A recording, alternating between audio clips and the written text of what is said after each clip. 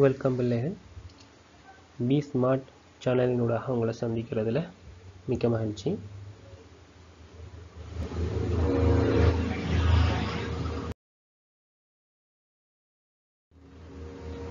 இன்றைக்கு நாங்கள் பார்ப்போம் தரம் ஒன்பதினுடைய எட்டாம் அழகு நேர் கோடுகளுடனும் சமாந்தர கோடுகளுடனும் தொடர்புபட்ட கோணங்கள். இதனுடைய தியரி நீங்கள் ஏற்கனவே பார்த்துருப்பீங்க பார்த்துட்டோம். இப்போ நாங்கள் இதில் பார்க்க போகிறது இதனுடைய பயிற்சிகளை கொஞ்சம் பார்ப்போம். இந்த பயிற்சியை நீங்கள் ஏற்கனவே செஞ்சுருப்பீங்கன்னு நம்பிக்கையில் இதை இதனுடைய ஆன்சரை பார்ப்போம். கட்டாயம் செஞ்சு பாருங்கள் நிரப்பு கோணங்கள். நிரப்பு கோணம்ன்றது என்ன? ஒன்றுமில்லை தொண்ணூறு பாகை. அவ்வளோதான் நிரப்பு கோணம்ன்றது என்ன? தொண்ணூறு பாகை. நிரப்பு கோணம்னா நிரப்புற கோணம் தொண்ணூறு. ஞாபகம் வச்சுக்கணும் நிரப்பு கோணங்கள் தொண்ணூறு. எப்படி தொண்ணூறு? ஏபிசி ஏபிசி என்ற கோணம் நாற்பது பாகை. பி என்றதை பாருங்கள் இந்த பி என்ற அம்புக்குறி மூலமாக நான் காட்டியிருக்கேன் இந்த பி கோணத்தை.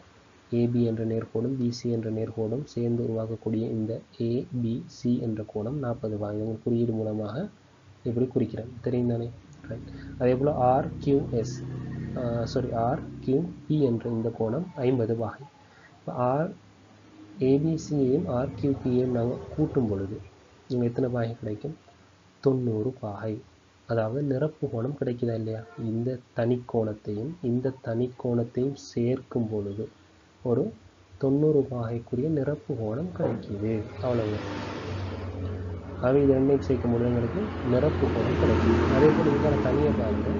ஒரு தொண்ணூறு பாகை ஏற்கனவே காட்டப்பட்டிருக்கேன். E, பிக்யூஎஸ்ன்றது தொண்ணூறு பாகை. ரெண்டையும் கூட்டி பாருங்க. அறுபது முப்பது எத்தனை பாகை? தொண்ணூறு பாகை. செங்கோணம் கிடைக்க போகுது. இந்த முப்பதும் அறுபதும் எப்படிப்பட்ட கோணங்கள்? அடுத்துள்ள கோணங்கள். கொண்டு கொண்டு பக்கத்தில் இருக்கிறது. அடுத்துள்ள கோணங்கள். இப்போ இந்த அடுத்துள்ள கோணங்களை சேர்க்கும் போது உங்களுக்கு என்ன கிடைக்குது? நிரப்பு கோணம் தொண்ணூறு பாகை கிடைக்குது.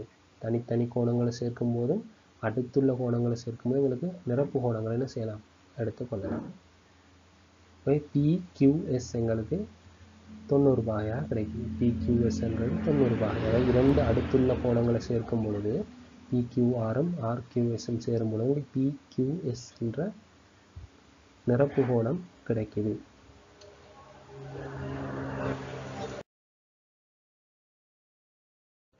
அதில் முதலாவது கேள்விகளாக பாருங்க பிள்ளை பின்வரும் நிரப்பு கோணச் ஜோடிகளை தெரிந்து அவை எல்லாவற்றையும் நிரப்பு கோணம் என்றா என்ன? சொல்லிட்டோம் தொண்ணூறு பாகை ஆகவே இங்கே தொண்ணூறு பாகை வரக்கூடிய சோடிகளை தெரிவு செய்யும் சிம்பிள் கூட்டல் கணக்கு கூட்டல். எத்தனையை கூட்டினா தொண்ணூறு வரப்போகுது? எண்பதையும் பத்தையும் கூட்டினா தொண்ணூறு வரும்.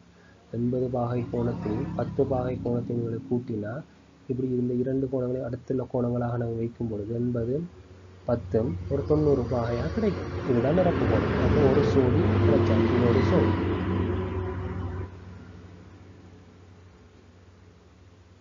ஆகவே எண்பதும் பத்தும் ஒரு சோடியாக கிடைக்குது வேற எதை கூட்டினா தொண்ணூறு வரப்போகுது பாருங்க. எழுபது இருபது.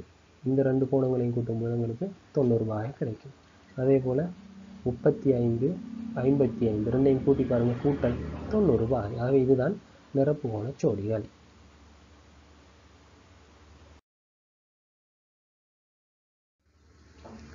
இரண்டாவது பாருங்க உருவில் உள்ள ஒவ்வொரு கோணத்தினதும் பரமனுக்கேற்ப நிரப்பு கோணச் சோடிகள் நான்கு அதாவது தொண்ணூறு பாகையாக வரக்கூடிய கோணங்கள் எழுதினா சரி இதில் எங்கெங்கே தொண்ணூறு பாகையாக வரப்போகுது இதில் பாருங்க ஒரு அறுபது பாகை இருக்குது இது முப்பது பாகை இருக்குது முப்பது பாகை இருக்குது அறுபது முப்பதும் தொண்ணூறு அதே போல் இங்கே ஒரு அறுபது இருக்குது இந்த முப்பது இங்கே ஒரு அறுபது இருக்குது இந்த முப்பது எந்த எப்படியோ கூட்டினா என்ன செய்யணும் எங்களுக்கு தொண்ணூறு பாகை கிடைக்கக்கூடிய மாதிரி கோணச்சோடிகள் எழுதிங்கன்னா சொல்லி உதாரணமாக கியூபிஎஸ் அறுபது பாகை கியூ பிஎஸ் அறுபது. இந்த கியூபிஎஸ் அறுபது எஸ் கியூஆர் முப்பது. இப்படி வரக்கூடிய எல்லா சோடிகளையும் எழுது இரண்டு இரண்டு சோடிகளாக கூட்டி பார்க்கும்போது எங்களுக்கு தொண்ணூறு பாகை வரணும் இரண்டாவது நிரப்பு அடுத்துள்ள கோணச்சோடி அடுத்துள்ள கோணச்சோடி என்பது பக்கத்து பக்கத்தில் இருக்கிறார். இங்கே யார் பக்கத்து பக்கத்தில் இருந்து தொண்ணூறு வரக்கூடியது? இந்த பாருங்கள் அறுபது முப்பதும் இது இருக்கக்கூடிய அறுபது முப்பது. இதனுடைய பேரக்கூடிய S Q RM Q PSM அல்லது SPQ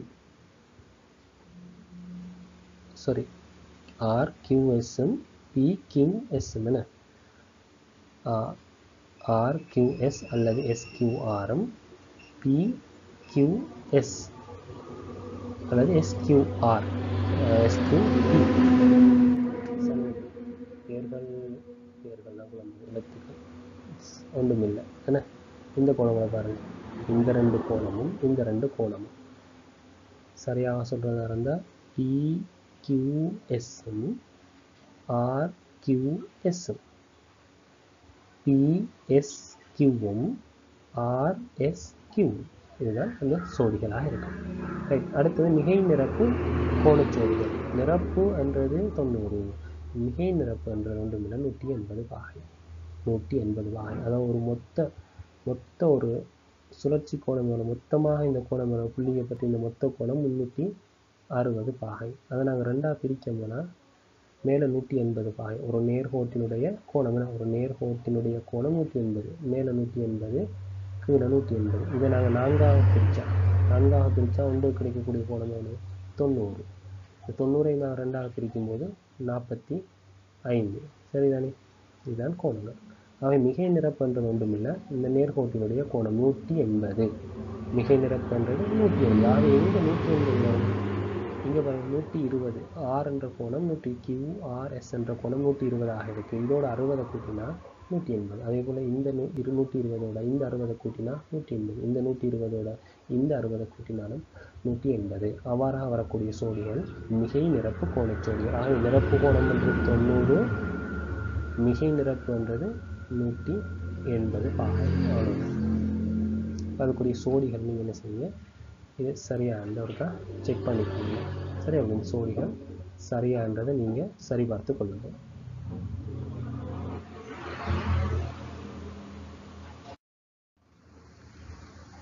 அடுத்தது உருவில் ஏபிசிடிஇஎஃப் e, ஆகிய நேர்கோட்டு துண்டங்கள் காட்டியிருக்காங்க. ஸோ முதலாவது இந்த பாருங்கள் என்ன எல்லாமே என்ன கோணங்கள்?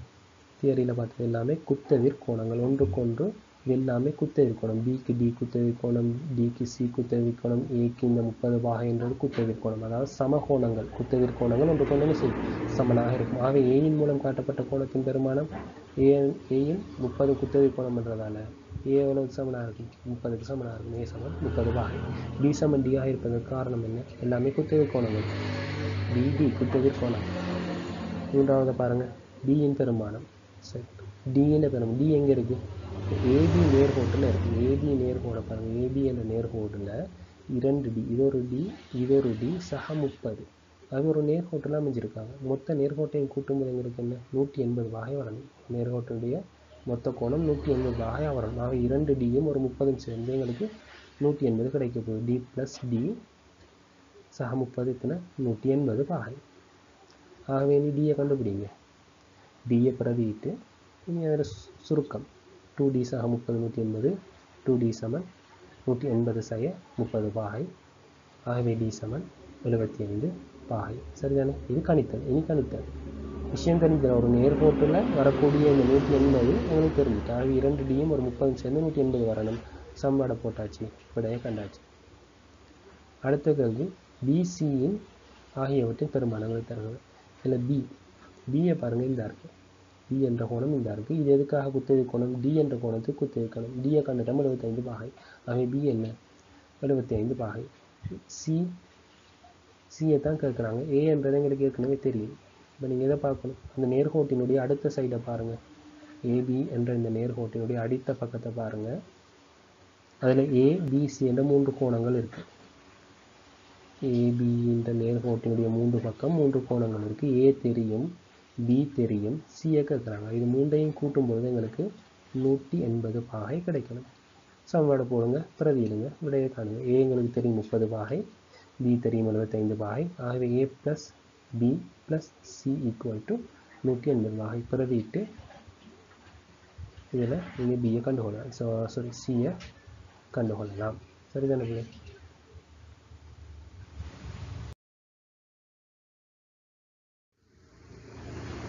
அடுத்தது நான்காவது உருவில் காணப்படும் சமாந்தர கோட்டுச்சொல்லி சமாந்தரம் என்றது என்ன இரண்டு நேர்கோடுகள் இடையேயான செங்குத்து தூரம் எப்போதும் சமனாக இருப்பின் அவை சமாந்தர கோடுகள் பாருங்க இரண்டு நேர்கோடுகள் ஏபி சிடி என்ற நேர்கோடுகள் கட்டப்பட்டிருக்கு. ஒன்று செங்குத்து தூரம்.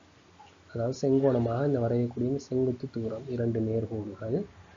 இதுக்கு நாங்கள் தொண்ணூறு பாகையாக வரையும் இந்த கோடு தொண்ணூறு பாகையாக இருக்கணும்.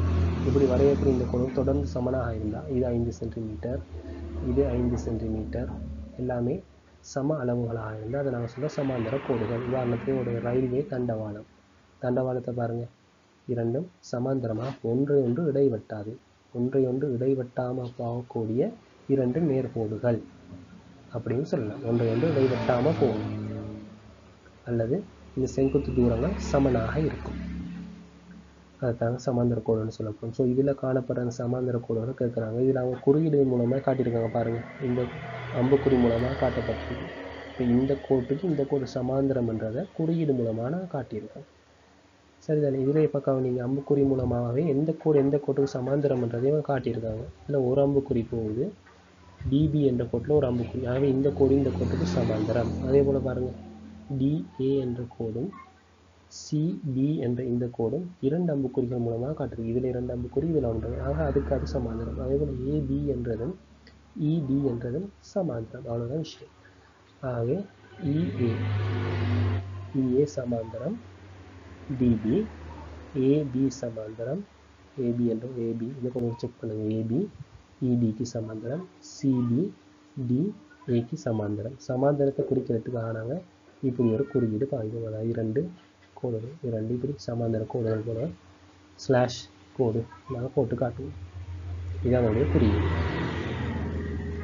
ஓகே பிள்ளை தேங்க்யூ உங்களுடைய ஆன்சர்களை செக் பண்ணிக்கொள்ளுங்க நாங்கள் அடுத்த பயிற்சியினுடைய விடைகளோட சந்திப்போம்.